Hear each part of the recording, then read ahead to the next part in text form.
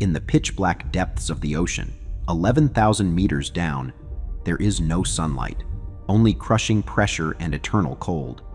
It's a world as hostile as an alien planet. For all of human history, this realm lay beyond our reach. Most believed nothing could survive down here in the abyss. They were wrong. Down on the sea floor, a ghostly white snailfish wiggles slowly through the water. Nearby, strange, gelatinous creatures drift by, some with transparent bodies and bioluminescent glow, others with spidery arms snatching at the marine snow falling from above. Life persists even here, adapted to pressures that would crush a submarine and darkness that outlasts any night. This is the Challenger Deep in the Mariana Trench, the deepest known point on Earth's surface. It's a place so extreme that only three human missions visited in the past 60 years. But now, something is changing in these depths. Someone is coming back again and again to probe this darkness. Far above, on the surface of the Pacific Ocean, a Chinese research ship lowers a device into the water. The crew watches anxiously as it disappears into the blue, sinking seven miles down into the trench. On their monitors, grainy footage appears, the seafloor lit by the submersible's lights, coming into view. November 2020. For the first time ever, China's flag is planted at the bottom of Challenger Deep. The Fendouzhe submersible, name meaning striver, has made history. Inside its titanium sphere, three Chinese aquanauts peer out into the darkness where few eyes have ever gazed. In that moment, China becomes only the third nation to reach the ocean's deepest floor. But unlike the explorers before them, the Chinese aren't just here for one triumphant dive. This is the start of something much bigger. That expedition was broadcast live on state TV, celebrated as a national triumph. Yet it was also a signal. China was formally declaring itself a major player in the last unexplored frontier on Earth, and they were just getting started. In the months and years after, Chinese submersibles kept diving again and again. Deep diving robots were deployed by the dozen. New records were quietly broken. What had once been rare, daredevil missions by superpowers in the Cold War has become, for China, a routine operation. While the world was focused on space rockets and moon landings, China was mounting a less noticed but equally stunning campaign into the abyss. For decades, the deep ocean got only passing interest. A cool documentary here, a billionaire's one-off dive there. No nation tried to conquer the depths in a systematic way. That void became China's opportunity. They looked at the ocean floor and saw what others did not. Immense strategic value. Consider this. More than 70% of our planet is ocean, and we've mapped less of the deep oceans than we have the surface of Mars.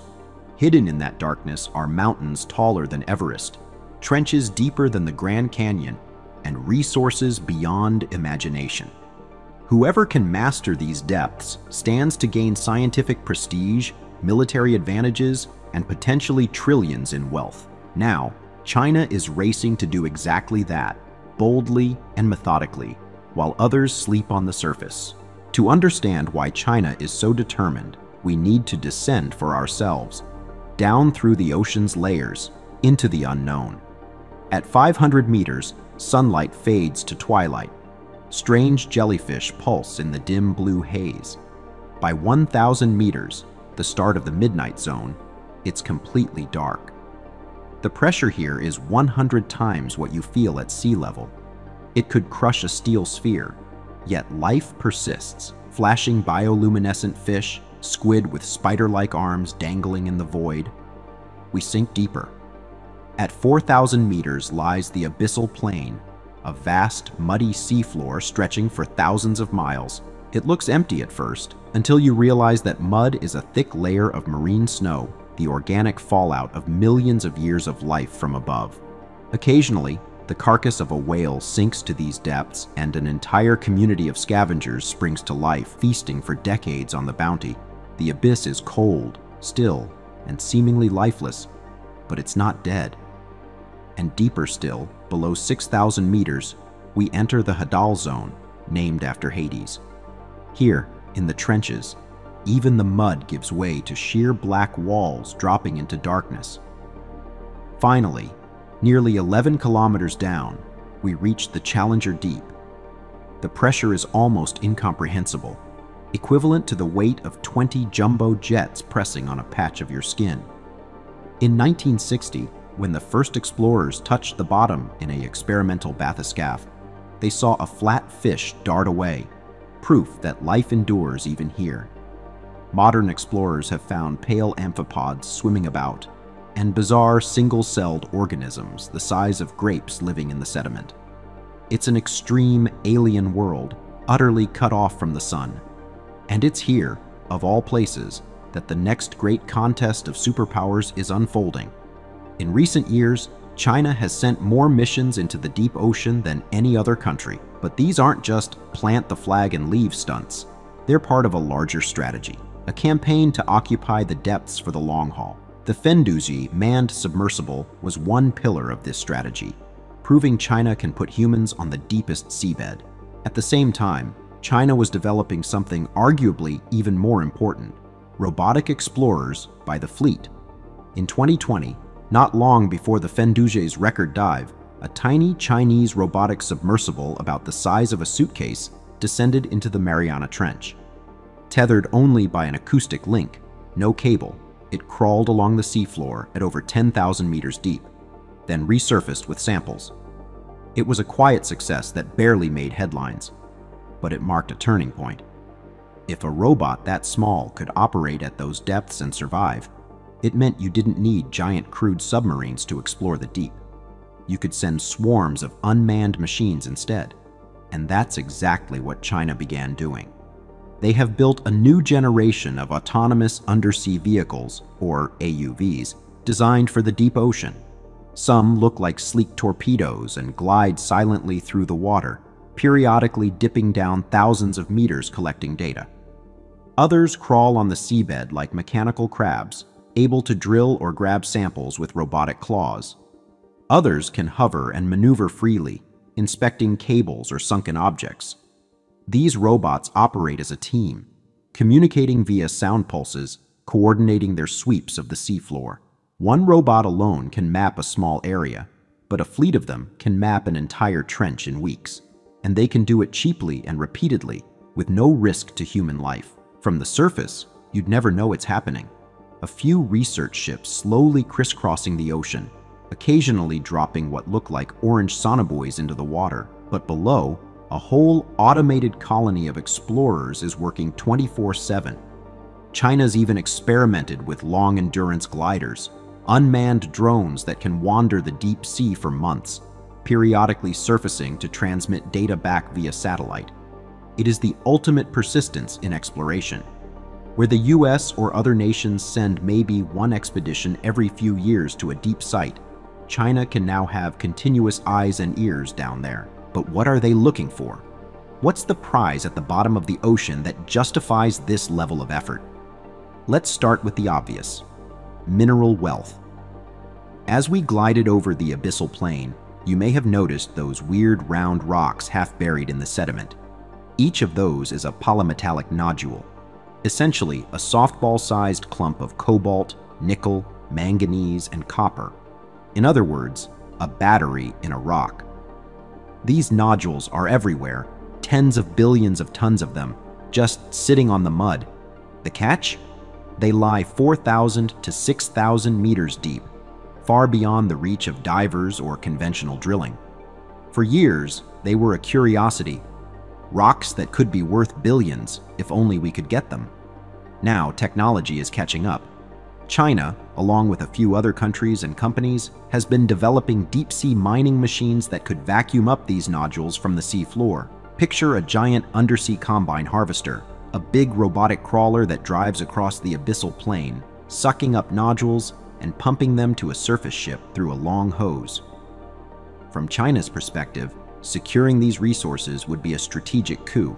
China already refines a large share of the world's rare metals. Control of seabed minerals would extend that dominance. That's why they've staked out exploration zones in the Clarion-Clipperton Fracture Zone in the Central Pacific, a region known for nodule abundance. In essence, China is quietly claiming the mineral riches of the deep before others can act. But resources aren't just metallic. Remember those cold seeps we encountered, areas where methane gas seeps out of the seabed, often forming icy methane hydrates? Those are another prize. Methane hydrates, or fire ice, could be an enormous source of natural gas. Chinese scientists estimate there's more energy trapped in hydrates there than in all the oil in the Persian Gulf. If they crack the code to safely extract flammable ice, it could revolutionize energy markets. Of course, mining or drilling in the deep isn't easy. Try to rip nodules from the mud, and you'll kick up gigantic plumes of sediment, potentially smothering deep sea ecosystems for miles. The deep ocean is an interconnected system we barely understand. Heavy exploitation could have irreversible consequences. Many marine biologists are raising red flags, urging a moratorium on deep sea mining until we know more. But China's view is that with careful study and gradual testing, these challenges can be overcome, and whoever moves first will gain a huge advantage. In March 2025, China officially announced it is going to build a permanently manned habitat at the bottom of the South China Sea. Think of it as an underwater base where scientists, or perhaps engineers and Navy officers, can live for a month at a time, running experiments, maintaining equipment, and monitoring the ocean in real time. This isn't sci-fi. The construction is slated to finish by 2030. The habitat will target a spot rich in methane hydrates so they can experiment with extraction techniques. Living on the seafloor for weeks will also give China an unparalleled window into deep sea biology and geology at that site. And from a strategic standpoint, it establishes a permanent Chinese presence in the depths. As of now, China is positioning itself to dictate what comes next in the deep ocean, to be the first to exploit, the first to set foot, or robot, on new features, and the first to propose how these places should be managed. Other nations are beginning to respond. New coalitions are calling for pauses on mining until regulations catch up. The US is talking about reinvigorating its ocean exploration programs, and alliances are quietly sharing more data on undersea activities. But catching up will not be easy. It requires urgency, investment, and vision, the very qualities that propelled China to take the lead. So picture the ocean in a few decades. Will we see Chinese undersea bases at various strategic spots, with mining crawlers working around them and robot subs patrolling the depths? Will the Mariana Trench become home to the world's deepest mining operation, flagged by a Chinese company logo